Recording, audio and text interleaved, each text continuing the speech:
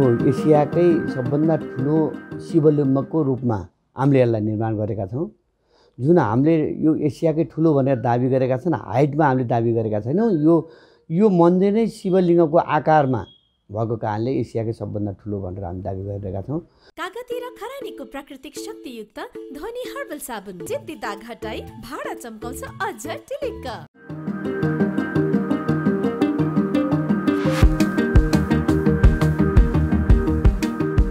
बनाउन संरचना बाँकीहरू अब monorail um, chair car uh, Kumari Kumar Parvati statue र हाम्रो पारि सुमेरु पर्वत भनेका सुमेरु पर्वत नै बनाउन बाँकी छ र यस्ता विविध खालेका गिरनरी पार्कहरू थुप्रै कामहरू गर्न अझै त्यसलाई सुन्दरता दिनको लागि अझ धेरै कामहरू बाँकी छ।